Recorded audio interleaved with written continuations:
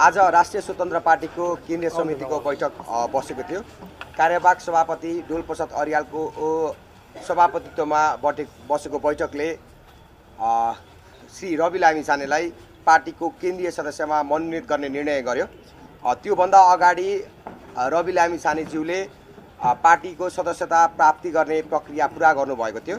र त्यो प्रक्रिया पुरा गरिसकेपछि केन्द्रीय समितिको बैठकमा उहाँलाई आमन्त्रित गरेर पार्टीको केन्द्रीय समितिले सर्वसम्मत निर्णय गर्यो। उहाँलाई केन्द्रीय समितिमा मनोनित गर्ने निर्णय गर्यो। त्यसपछि पार्टीको अर्को बैठक बस्यो।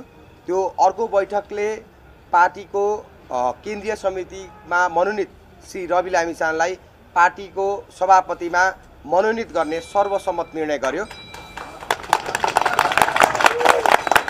र यो बैठकसँगै पार्टी सभापतिमा रवि लामिछाने चयन हुनुभएको छ। यो सर्वसम्मत निर्णय हो। र त्यस लगत्तै पार्टी सभापति रवि लामिछानेको सभापतित्वमा अर्को बैठक पनि बस्यो र त्यो बैठकले जुन सङ्गठन विस्तारको कार्यविधि विशेष परिस्थितिका कारणले जुन स्थगित गरिएको थियो त्यो स्थगित गरिएको सङ्गठन विस्तारको जुन कार्यतालिका थियो त्यसलाई पुनः सुचारू गर्ने माघ चौबिस गतेबाट माघ चौबिस गते माघ चौबिस माघ चौबिस गते शनिबार चौबिस एक्काइस माघ माघ एक्काइस गते माघ एक्काइस गते गण्डकी प्रदेशबाट प्रदेशको विस्तारित समितिको बैठक जुन स्थगित गरेको थियो त्यहाँबाट सुचारू गर्ने गण्डकी हुँदै लुम्बिनी सुदूरपश्चिम कर्णाली र त्यसपछि जुन प्रदेश नम्बर एक मध्य प्रदेश र बागमती प्रदेशको छ त्यो कार्यतालिका पनि सङ्गठन विभागले प्रकाशित गरेर प्रदेशको विस्तारित समितिको बैठकको जुन स्थगित गरिएको थियो त्यसलाई सूचना त्यसलाई सुचारू गर्ने निर्णय गरेको छ।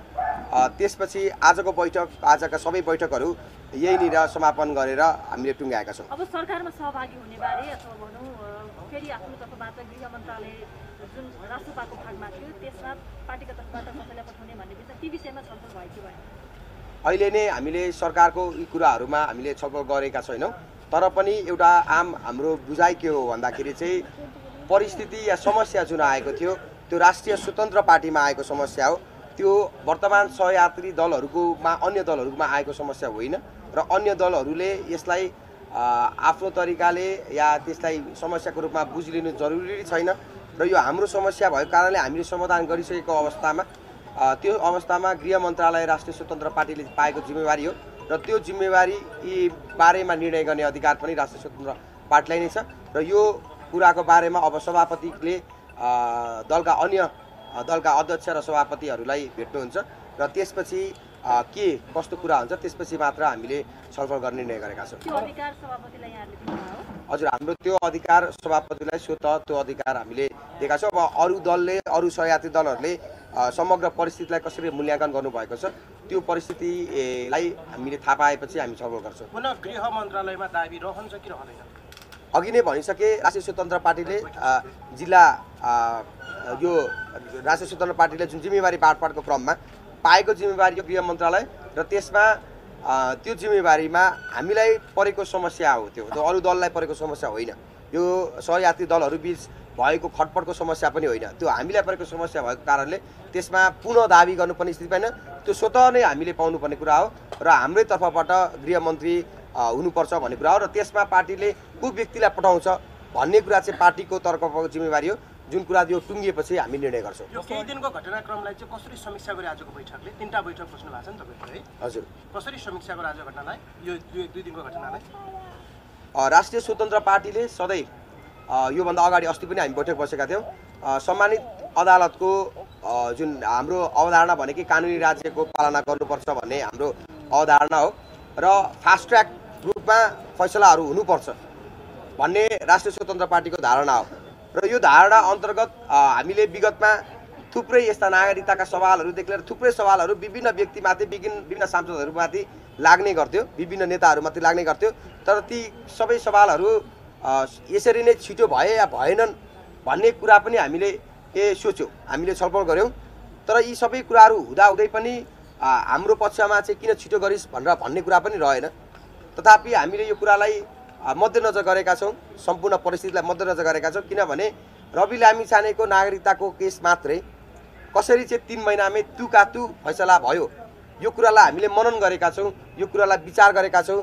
आगामी राजनीतिक घटनाक्रम हुँदाखेरि त्यसलाई कसरी चाहिँ सोच विचार गरेर अगाडि बढ्ने भन्ने कुरालाई लिएका छौँ। तथापि अदालतले छिटो फैसला गरेकोमा विरोध छैन। हाम्रो कुरा के मात्रै भने अन्य नागरिकताका सवालमा अन्य जनताका अन्य अन्य विभिन्न बलात्कारदेखि लिएर हत्यादेखि लिएर विभिन्न भ्रष्टाचार सम्बन्धीका जति पनि मुद्दाहरू छन् अदालतमा अड्किएका छन् ती मुद्दाहरू पनि यसरी नै तिन महिनामै नै टुङ्गिने गरी फैसला गर्नु पर्यो भन्ने पार्टीको हाम्रो धारणा हो।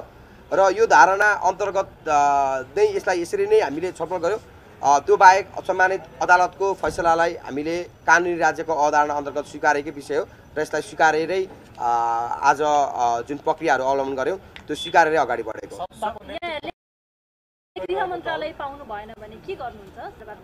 अहिले हामी विषयमा सोचेका छैनौँ किनभने अघि नै भने यो समस्या हामीमा लागेको समस्या हो। यो समग्र सहयात्रा सहयात्री दलहरूमा आएको समस्या होइन। र त्यो रूपलाई हामीले अहिले नै त्यसरी चित्रण गर्ने या त्यसरी छलफल गऱ्यौँ भने हामीले नै यो चाहिँ सहयात्री दलहरू बिच आएको समस्याको रूपमा ठहर गरेको हुन्छ। अहिले त्यो विषयमा हामीले छलफल गरेनौँ किनभने यो हामीमा आएको समस्या जुन हामीले समाधान एक तहसम्म गरिसक्यौँ। र थप समस्या समयक्रमसँगै हुँदै जान्छ। तर अहिले त्यो हामीमा नआएको हामीमा मात्रै आएको समस्या र सहयात्री दलहरूमा नआएको समस्या भएको कारणले अन्य दलहरूले पनि यसलाई त्यही अनुरूप बुझ्नुहुन्छ भन्ने आश गरेका छौँ। एउटा सोधेँ ल अन्तिममा जस्तै कि अझै तपाईँहरूले रवि लामिन छानेलाई पार्टी सभापति बनाउन हतार गर्नुभयो नि यसको कारण के हुनसक्छ एउटा कुरा हामीले खोज्यौँ होइन। अर्को चाहिँ सम्भावित चितवन दुईको उपनिर्वाचनलाई लिएर के सामान्य छलफल भयो कि त्यो बाँकी नै छ? के छ यो दुइटा विषय? चितवन दुईको उम्मेदवारीको खण्डमा हामीले अहिले छलफल गरेका छैनौँ जब उपनिर्वाचनको घोषणा हुन्छ। त्यसपछि पार्टीको एउटा प्रक्रिया छ प्रारम्भिक निर्वाचनको प्रक्रिया छ। त्यो प्रक्रिया अन्तर्गत पार्टीले आफ्नो प्रक्रिया अगाडि बढाउँछ। अन्य पार्टीहरूमा केन्द्रीय समितिले निर्णय गरेर उपनिर्वाचन या निर्वाचनमा टिकट दिने व्यवस्था छ भने हाम्रोमा प्रारम्भिक निर्वाचनको मार्फत टिकट लिने व्यवस्था हो। यो दिने होइन लिने व्यवस्था भएको कारणले पार्टीले यस विषयमा छलफल गर्नुपर्ने आवश्यक भएन।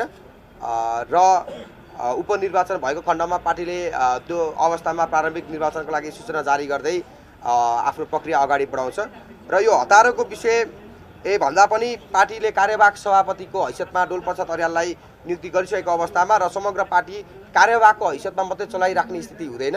र यसलाई एउटा कार्यकारी अधिकार सहित पार्टी सभापति नै आवश्यक भएको यसमा हामी सबैलाई महसुस भएको कारणले गर्दाखेरि र सम्पूर्ण प्रक्रियालाई हाम्रा पार्टीका शुभेच्छुक पार्टीका सदस्य जो सम्पूर्ण चिन्तित हुनुहुन्थ्यो उहाँहरू सबैलाई पार्टी अब पार्टी चाहिँ एउटा ठेगानमा आइसकेको छ।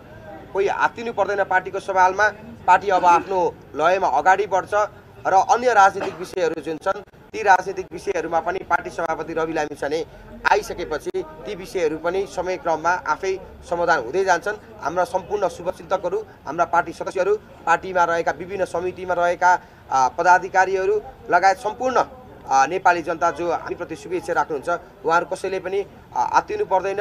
र यसमा हामीले जसरी साथ दिइराख्नु भएको छ त्यो साथको हामी अझ बढी साथको सहयोगको अपेक्षा गर्छौँ। हामी हाम्रो सङ्गठन विस्तारको कार्यतालिका हामीले सुचारू गऱ्यौँ र त्यो क्रममा हामी भव्यताका साथ सम्पूर्ण सदस्यको समितिका सदस्यहरूको र शुभेच्छुकहरूको पनि सहभागिताका लागि हार्दिक अपिल गर्दछौँ।